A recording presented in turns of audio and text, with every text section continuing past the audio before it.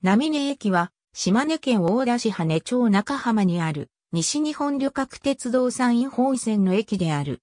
快速列車については、下り2本のみが停車する。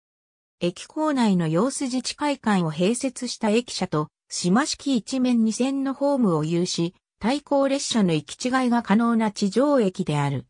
駅舎は、増田寄りの海側にあり、ホームへは、構内踏切によって連絡している。浜田鉄道部管理の無人駅で、乗車駅証明書発行機や自動券売機もないが、駅舎内には水洗トイレが設置されている。2018年度の1日平均乗車人員は43人である。2004年度は66人、1994年度は94人、1984年度は142人だった。近年の1日平均乗車人員は以下の通りである。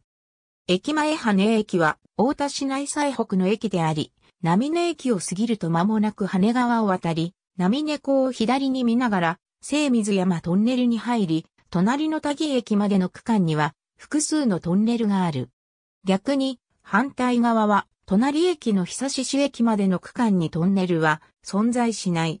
なお、係戸の一本松は、当駅と久志市駅との中間点に生えている。また、波根西の京鍵は、波根とつくものの、むしろ久し主駅の方が近い。波根駅の海岸側で、波根港と柳瀬漁港との間は、波根海水浴場として開放されている。波根海水浴場とは、反対側の少し波根駅から離れた場所には、島根県立農林大学校が立ち、その周囲が波根地区工業団地である。また、島根県中部家畜市場もある。